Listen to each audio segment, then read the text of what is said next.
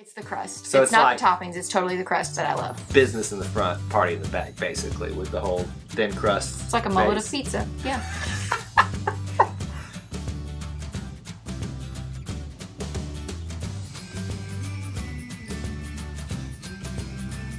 Hey everybody, welcome back to Eye to Eye Disney Through Our Eyes. I'm Kyle, And I'm Jessica. and it's time for another Disney dining review from our October 2018 trip.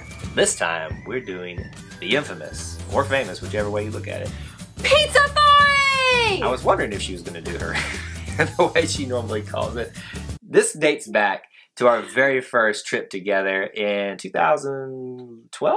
12. 12 when we tried this for the very first time at Disney's Animal Kingdom and she could not stop talking about it. It is Every- not that great, but it is that great. It is awesome! Everybody has that one thing that they know is not like the best thing in the world to have, but it's theirs, and this is Jessica. This is Like- this is a must do every time we go to Disney World. We cannot skip Pizzafari. I don't care what the other options are. So she'll ask me, I, I'm the planner. I plan Yes. out our day for Yes. us. When we go to Animal Kingdom, she's like, all right, well, what are our fast passes? And she's like, okay, and when are we going to be going to Pizzafari? Yep.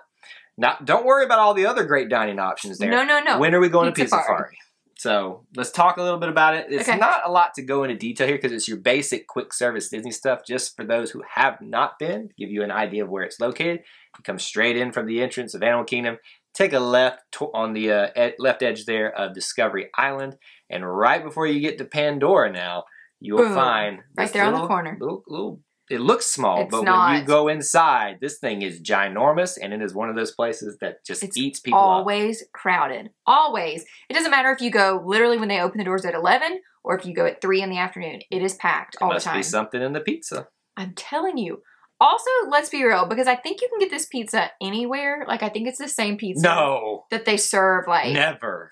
at the resorts. I think it's the same pizza that they serve at all parks. However, There is something about Pizzafari pizza. It is different. I will say, I, I think the general recipe is the same. They made an effort about two or three years ago to kind of switch from just your traditional round personal pizzas to the flatbread style on most of their pizzas now. So I think they're trying to kind of hip them up a little Not for bit. us though. I like the round. That we did get the rounds this time, didn't we? Yeah, duh. We got yet. traditional. But- but they give you a salad with it. So that's the good thing here. And this is one set up perfectly for the Disney dining plan so that you can get a side with it. And they just kind of built it already into the price. And it's cheaper than some other pizza places we have because Yes. you've already got your side salad or whatever else comes with your pers- personal pizza in it. But you obviously have to purchase your drink as well. Um, As typical for Disney, you know, spend four dollars on a drink that you can't get a refill on, but I'm not bitter. Anyway, keep in mind as well with this always being busy and being right next to Pandora, it's even more busy now. And your line, you're just going to have to pack your patience and pack your patience for trying to find a seat as well. and literally, so we had to split up, and It's dangerous. move. Kyle was in charge of getting the food, and I was in charge of finding a table. Literally had to make a friend and say, "Hi, I see you're not using these two chairs on the end. Can we bunk up with you?" And literally, that's what we had to do. Made some friends, and it is what it is. And she actually found one right next to the like condiment, not condiments, but the utensils Yeah. and stuff. So we kind of lucked out in that in that sense. But it's one of those things when you go to Pizzafari, just know the minute you're done eating, please be courteous and get up. Don't be rude and hang out there. Go outside. Let somebody else have your table because there are lots right. of families with children that need to sit down. it's just a good Disney courtesy thing for that you can do for other guests there Yeah. because especially this is a place that's huge for families because it's easy to get. Everybody likes pizza. There's gonna be a lot of people with kids there that want to have the seat come down and probably crash for 30 minutes. Let them have the seat once you're done, especially if you're in like a situation like us where we don't have kids yet. Right. It's just and we don't have grandparents with us. You know, it just that is one of my pet peeves when you see like an older gentleman or an older lady, you know, waiting to sit down and a young person sitting on their phone, clearly done eating. That drives me bonkers.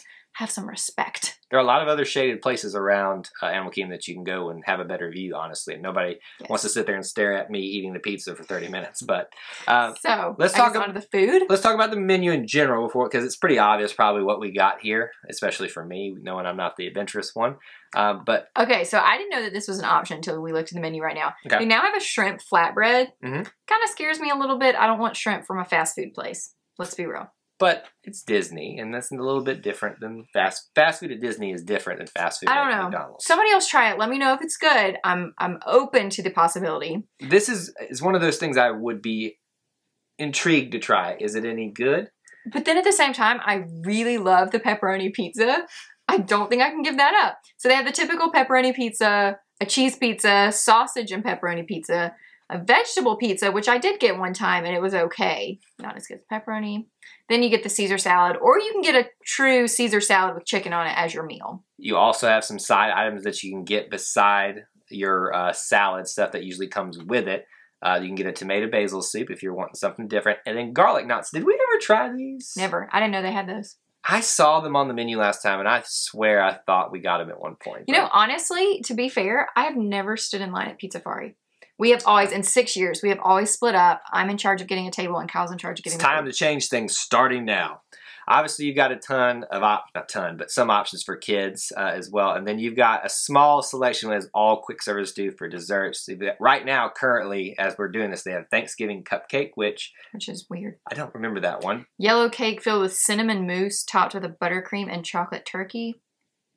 And then they had a cannoli cake, which actually sounds really good. Yes, I did see that. Chocolate cake with chocolate chip cannoli filled topping, chocolate ganache garnished with mini cannoli filled, mini cannoli filled with sweet ricotta cheese and chocolate chips. That just sounds really good. Yeah, I'm not Um, mad at that. again, when we're at Animal Kingdom, we mean business, so we didn't have time to eat all these desserts unless we're on the dining plan. Then we will take advantage of them.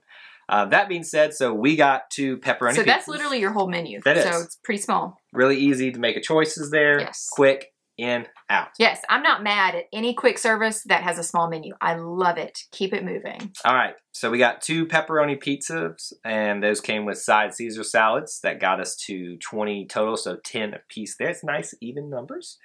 Well, you can't see the. Oh, that's that's right there. I, I, for- I forgot about that. That is yeah. Anyway, so we got pepperoni pizzas, uh, and then we actually didn't split drinks here because when you're in Animal Kingdom, you are walking a lot and it, you get thirsty. So Yeah. And let's be fair, Jessica needed her Diet Coke. Kyle probably could have split one with me, but he- I just, I was, no, I needed it. three ninety nine sodas, uh, not refillable. So just keep that in mind. Don't slurp it down. Uh, but that's also why we didn't share one as well. right. So that brought our total on this too, and I've got to look at it. I had it written down there. It's twenty eight ninety six subtotal, and then thirty eighty five with tax. So fifteen dollars $15. per person. Yeah. Disney, not a bad deal. They Yeah. do put this in the price range of about fifteen to twenty. I Yeah. think is where it's listed at. So right on the money there Yep. for us. We didn't get. But this is my favorite pizza in all of Disney. If we haven't said that enough, it is. But you got to say, like, what is it? It's the crust. It's the crust. I was Oh, getting yeah. there. So the the literal crust on the outside is thick, but it's cooked perfectly. But then the part that the sauce and the cheese and everything on is kind of thinner. But the sauce, it, there's enough sauce on it that you can dip your crust in it, and it's like extra marinara sauce. It's the crust. So it's, it's not like- the toppings. It's totally the crust that I love. Business in the front, party in the back, basically, with the whole thin crust. It's like a mullet base. of pizza. Yeah. On that note, we are going to change our rating system retroact not retroactively, but just on the fly here. Normally we just come up with some weird one that it reminds What are us you of going place. to do? Mullets? We're gonna do mullet pizzas. How many on a scale of one to five mullet pizzas, how would you rate Pizzafari? Five. I'm gonna I'm gonna disappoint her a little bit here. It's all right. It's I have a couple of other quick ser- service options I'll pick over this in Animal Kingdom. So I would give this a four. It is That's still good pizza. I agree with you about the crust, the accessibility of it, quick. It's they've yet to fail us in terms of satisfying. That's true. us. We've never had a bad experience here. So Pizzafari, you get pretty high ratings, just perfect. You know, this. Let me put this in perspective. She gave Ohana a five, and now she's giving Pizzafari a five. Duh. They're on the At least level. my, at least I gave Beaches and Cream a five with Ohana. Anyway. No, no. Pizza Party is way better than Beaches and Cream. Anyway, we want to know now from you in the comments section below if you have been to Pizza Far, what do you think and what would you give it a rating on 1 to 5 pizza mullets if that's what you want to use. Mullet pizzas, pizza Mullet. mullets. Right. Ah, so let us know down there in the comments section below what else should I do. If you haven't already, please be sure to like and subscribe to our channel, and you can check us out on Facebook and Twitter. And that's all we have for you on this edition of Eye to Eye, but until we assemble again, May the force be with you. and we'll see you real soon. Bye.